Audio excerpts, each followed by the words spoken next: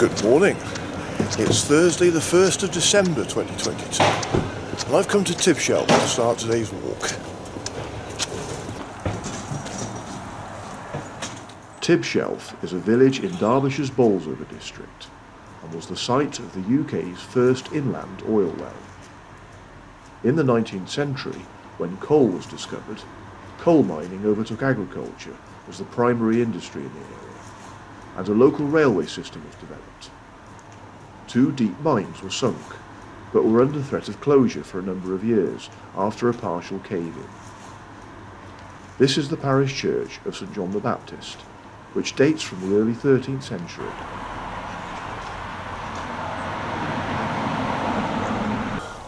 It would have been nice to have had a look inside this church, but the doors are locked unfortunately, so I'll just get on with the walk.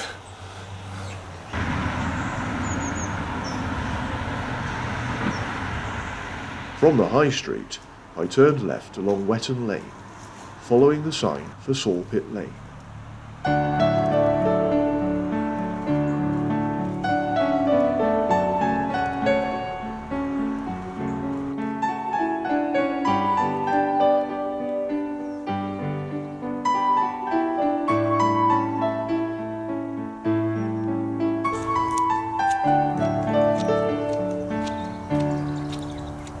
Of a murky one this morning. I think that's the forecast for all today. I don't think this week is great weather-wise. I mean, my last walk on Monday was was okay. It sort of brightened up by the time I'd finished the walk, but it was a dry day. That's the main thing. Tuesday was so misty, uh, but it was nice to have a lying in bed then. So I sort of resigned myself to the fact that I knew it was going to be misty on Tuesday, so I thought, well, I won't try and film a walk then. I'll just have a bit of a lie, which was nice. And uh, Wednesday, I was hoping to go out, which was yesterday, but uh, for whatever reason, things just didn't happen. Um, so I come out today, first day of December, and it's nice to do a walk around Tibshelf because, again, Tibshelf is a place that I come to a lot when I'm working, but not very often in my own time. So, and of course, this today for me is a totally new walk. So, one I've plotted myself just over five miles I think so let's see how it goes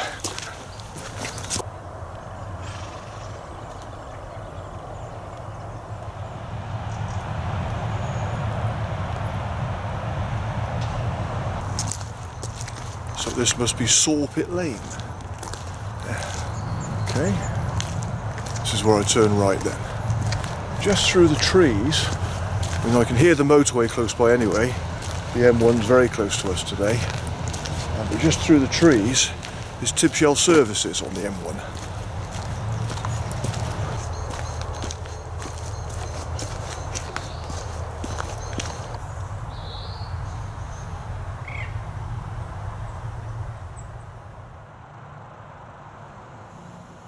Sawpit Lane eventually emerged onto the busier Newton Wood Lane at some traffic lights. I went right here to cross the bridge over the course of an old railway, today part of the Silverhill Trail.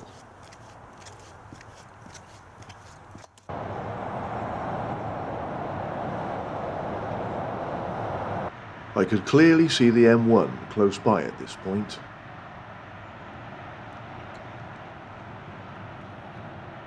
At the far side of the bridge, I entered the village of Newton, one of four villages that make up the civil parish of Blackwell, the other villages being Blackwell, Hilcote and Westhouses.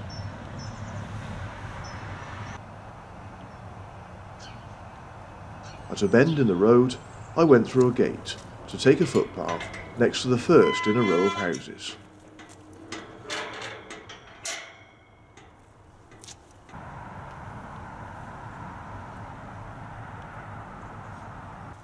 Through a second gate, I entered fields as my path took me closer and closer to the motorway.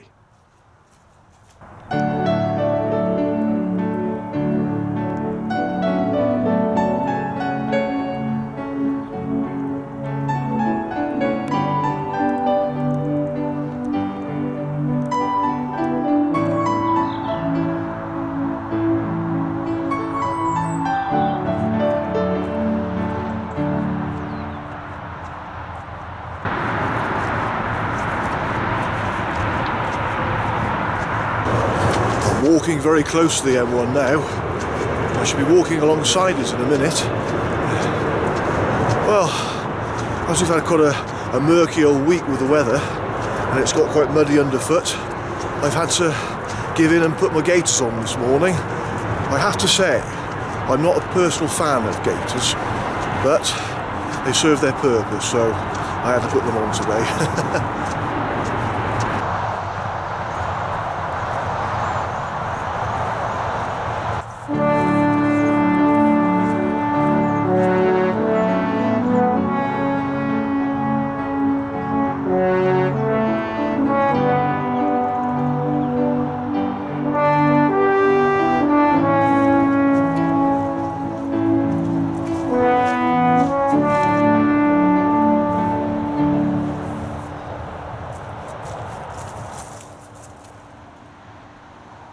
path eventually emerged onto Huthwaite Lane, along which I went right to walk into the next village.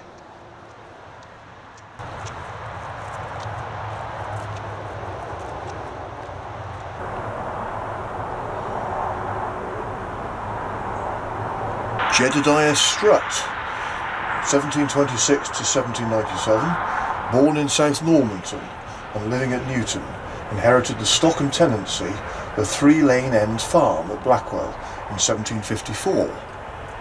He described the charms of Old Blackwell in a letter to Elizabeth Woollat, in the hope she would leave London and join him. In 18th century Old Blackwell, life as a framework knitter was tough. To make ends meet, the whole family would have been employed in the manufacture of stockings. The father would work on the knitting frame and the wife and children would spin and sew.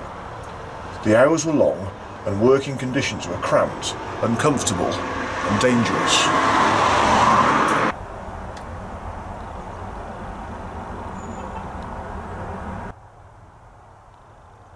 At a right-hand bend in the road, I followed Church Hill straight ahead.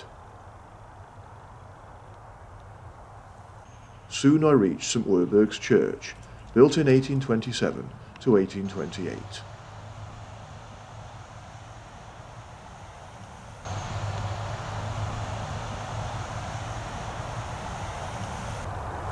This church is open, however, unfortunately there's a funeral going on at the moment, so I think it would be in very poor taste if I went in now, so I'll move on.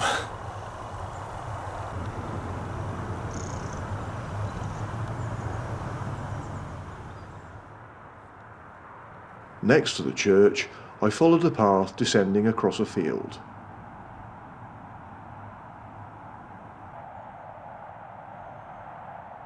At the bottom, I crossed Hilcote Lane to another path opposite, where I continued to head downhill.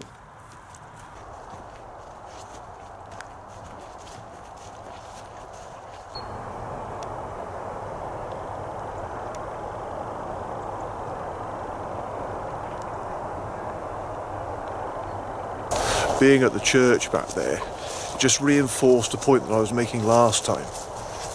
And that's that I have to be very careful what I film and how I film it. I mean, obviously, if I'm at a church where there's a funeral going on, I would never dream of filming people at the church. So, just now, I took a few shots of the exterior of the church. There were no people in it.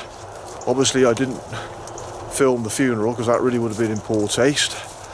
Um, I didn't go inside the church because obviously if there were people from the funeral inside that would still have been in poor taste in my opinion.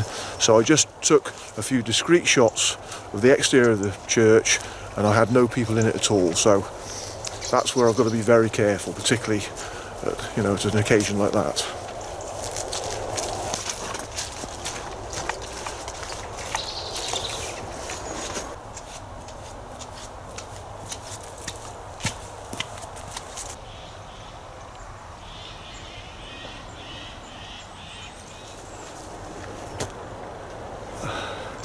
Bit of easy walking for a while now then, as I walk along this trail.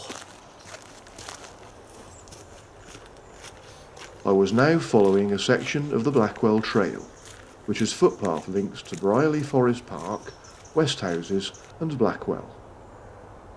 The trail is part of the Phoenix Greenways. a network of easy access off-road trails and quiet lanes that run through Derbyshire and Nottinghamshire. Once old railways and collieries, the trails are rising like a phoenix from the ashes of industry.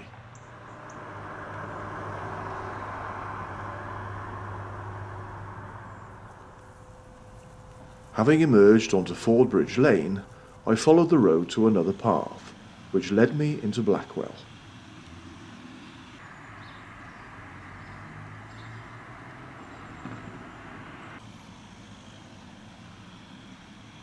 Here I came across a local mining monument.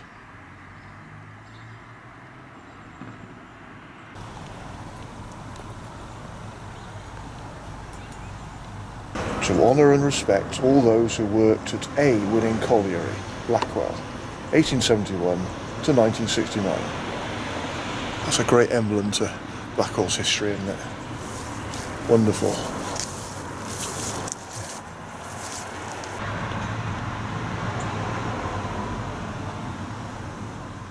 Turning left along Gloves Lane, I followed this as it led me out of the village.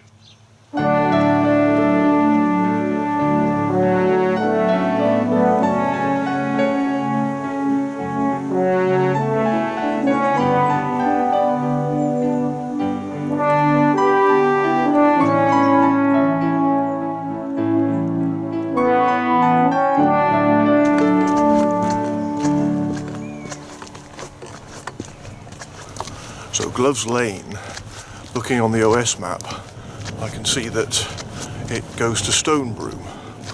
So it must have been an old road at one time that vehicles could drive up and down between Blackwell and Stonebroom. Of course, uh, you can't drive along it now, but it's nice that it's still open as a public right of way. Quite pleasant walking along here.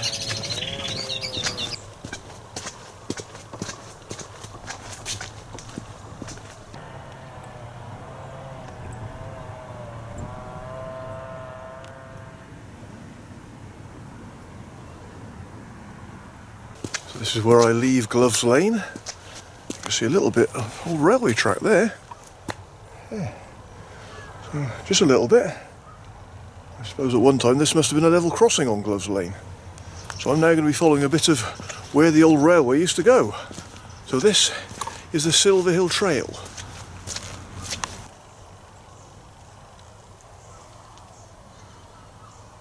Let's have a look and see what it says about the Silverhill Trail then.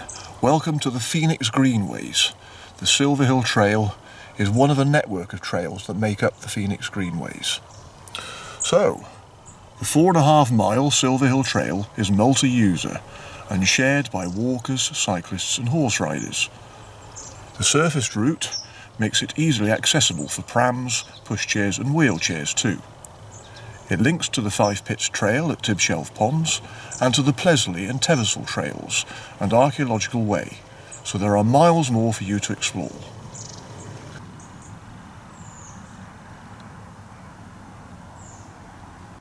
I began to head along the Silverhill Trail, which was leading me in a northeasterly direction.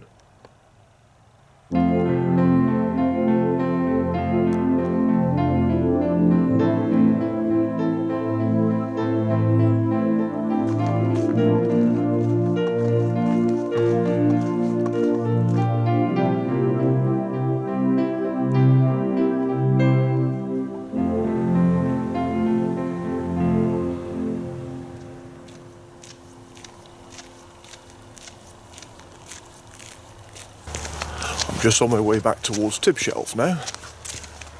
Must be quite nice if you live around this area. Because the Silverhill Trail sort of is running between places like Tibshelf, Blackwell, Newton. People live in those villages. And it's a great sort of place to walk your dog. I just saw a guy that passed me just now with his dog and his dog dribbled all down my trousers. I've had worse things done to me. But uh, seen a few cyclists as well. But yeah, it's actually quite nice for like a nice gentle afternoon stroll really.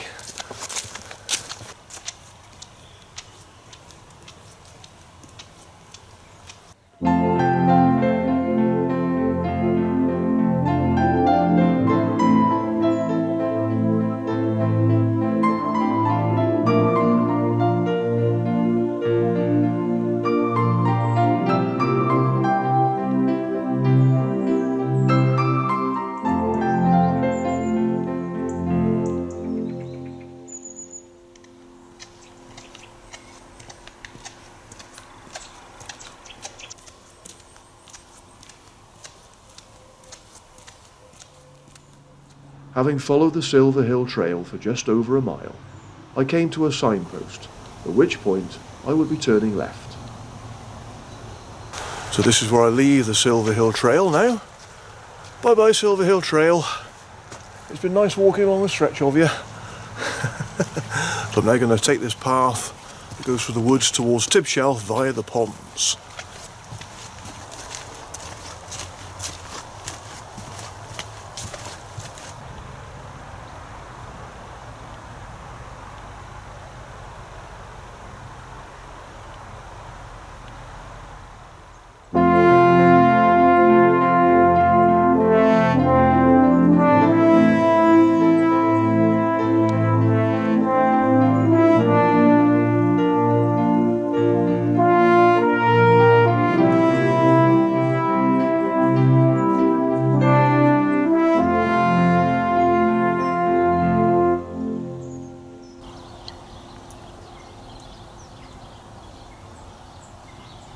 1984, Tibshelf Ponds became one of the first Derbyshire County Council schemes to form a nature reserve from a disused colliery site.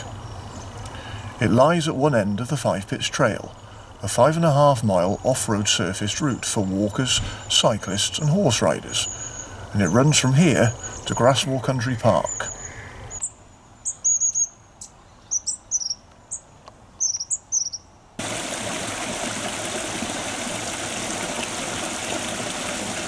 Been quite a few years since I was last at Tibshelf Ponds.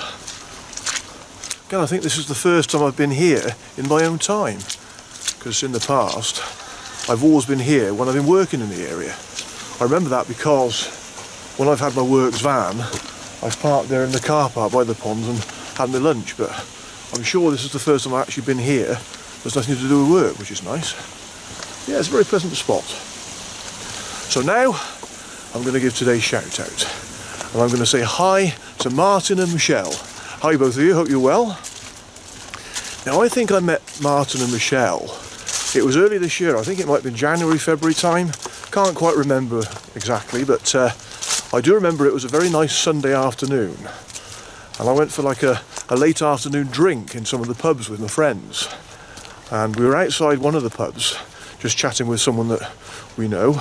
And all of a sudden Martin and and uh, Michelle walked between us and Michelle looked at me she said you're the guy on the telly that does the walking videos she said. Or words to that effect. And like you know again my friends were like taking the mickey out of me because I've been recognised so, but it was nice it was really nice. So um, they went into one of the pubs that we were standing outside and then uh, later on I managed to have a bit of a chat with them which was nice. So Martin uh, yeah, they, they live quite close to me actually. They're not too far away from me, but they were a nice couple and uh, they were having a few drinks in Matlock on the Sunday afternoon and just sauntering on their way home. It was nice. So, I say, when you get a nice day like that, it's certainly worse things to be doing than having a few drinks. So yeah, lovely to meet you both, Martin and Michelle, and I'm sure I'll bump into you again at some point.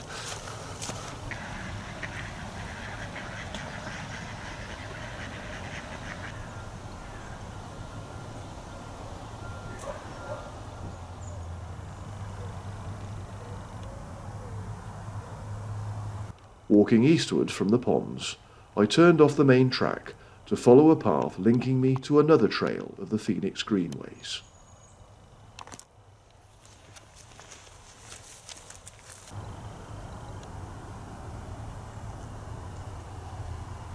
I'm on the Five Pits Trail now then, but I'm only walking a very short section of it today because I'm just heading back into Tibshelf where I started the walk. So, But hopefully next time or another time whenever I'll try and explore a bit more of the Five Pits Trail.